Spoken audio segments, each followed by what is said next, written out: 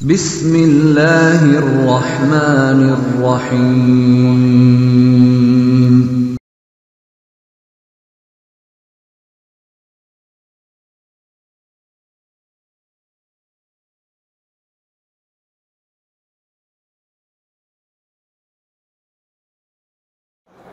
আমাকে একজন সম্মানিত দর্শক জিজ্ঞাসা করলেন ঈদের নামাজের পূর্বে এবং ঈদগাহের ময়দানে নফল নামাজের বিধান কি? তার উত্তর হচ্ছে, হেদায়া কিতাবের মধ্যে এই ব্যাপারে একটি চমৎকার এবারত আনা হয়েছে। লা ইয়াতানাফালু ফিল মুসাল্লি। মুসাল্লি নফল নামাজ আদায় করবে না। কবলা সলাত আল ঈদ, ঈদের নামাজের পূর্বে। লিয়ান্না নবিয়া সাল্লাহ আলাই ওয়াসাল্লাম কেননা নবী করিম সাল্লাহ আলাইসলাম লাম ইয়ফআল জালিক নবী করিম সাল্লাম এরকম করেনি। এই মশলাটির ব্যাখ্যা হচ্ছে, যে আবারটি পড়লাম, সেটার ব্যাখ্যা হচ্ছে, ঈদের নামাজের পূর্বে নফল নামাজ পড়া মাকরু, অপছন্দনীয় কাজ এবং ঈদগাহের ময়দানে, ঈদগাহের মাঠে নফল নামাজ পড়া মাকরু। হজরত ইমনে আব্বাস রাদি আল্লাহ তালাহ বলেন ইন্না রসুল আল্লাহ সাল্লাহ আলাই ওয়াসাল্লাম খরাজা ফাসাল্লা বিহিমুল ঈদা লম ইউসাল্লি কবলাহা ওয়ালা বাদহা। নিশ্চয় রসুল আকরাম সাল্লাম বের হলেন এবং লোকদেরকে নিয়ে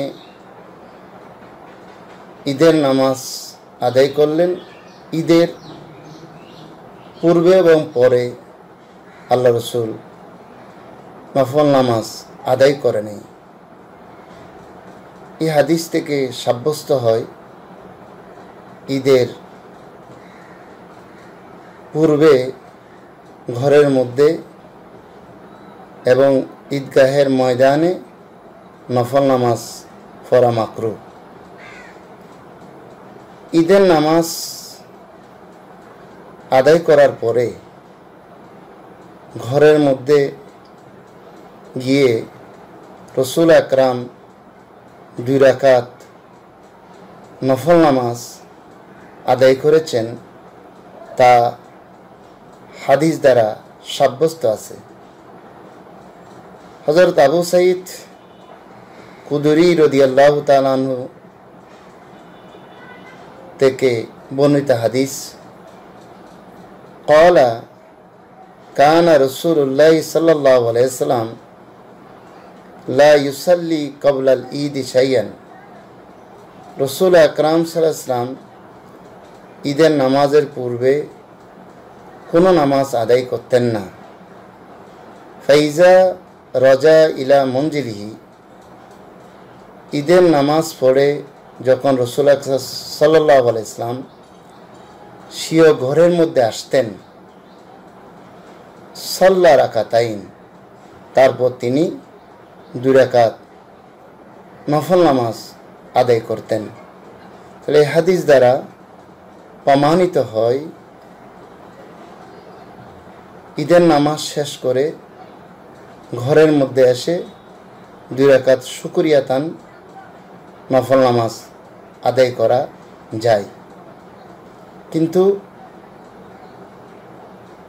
ঈদের আগে ঘরে কোনো নফল নামাজ পড়া যাবে না এবং ঈদগাহের ময়দানে নফল নামাজ পড়া যাবে না।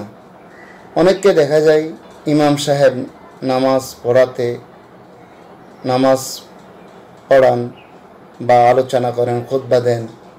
তখন দেখা যায় অনেকে মশালাটি না জেনে যে ঈদগাহের ময়দানে যে নফল নামাজ পড়া মাকরু সেটা না জানার কারণে তারা ঈদগাহের ময়দানে নফল নামাজ আদায় করে আমাদেরকে এই মশালাটি জানতে হবে জানতে হবে। ঈদগাহের ময়দানে নফল নামাজ পড়া যাবে না। ঈদের আগেও নফল নামাজ পড়া যাবে না। আর যদি যে হাদিসটি বলেছি, ঈদের নামাজ শেষ করে শুক্রিয়া তান দুই নফল নামাজ আদায় করা যাবে। মশালাটি আপনারা অবশ্য অবশ্যই Mustabir için.